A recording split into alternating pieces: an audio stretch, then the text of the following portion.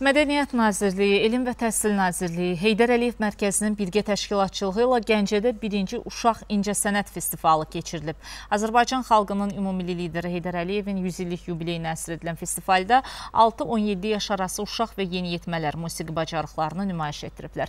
Festivalın keçirilməsində əsas məqsəd mədəniyyət sahəsində inkişafın təmin edilməsi, uşaqların vətənpərvərlik ruhunda mədəniyyətə, incəsənətə, adət-ənənələrimizə bağlı tərbiyə olunmasıdır.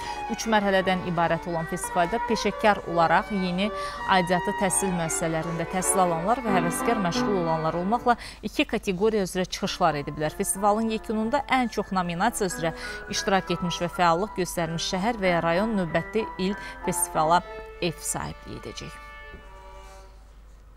Bu çox böyük möhtəbər bir festivaldır və inandıram ki, sizi bu festivalda demək olar ki, nəinki bütün təhsil ocaqları, həm onlarla yanaşı, həm də bütün musiqi məktəblərinin tələbələri də böyük vüsət alıbdır və iştirak edirlər böyük həvəslə. Bu gün ikinci günümüzdür. Yaxşı uşaqlar var, seçim edirik. Simulyallıqda üzrə də var, fortepiano ifaçılığı, solo ifaçılığı və yəqin ki, o birisi nominasiyalar üzrə də keçiriləcəkdir.